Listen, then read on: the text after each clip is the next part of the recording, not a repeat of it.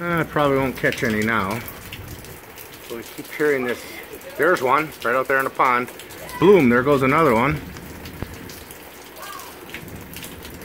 We keep hearing these noises of large things hitting the roof. There are like huge balls still falling from the sky.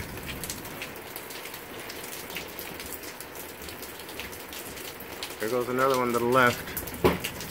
If you heard a noise, maybe over to the right, hit the porch. Four of them out there at once. Maybe I should walk out and see what they look like. Nope.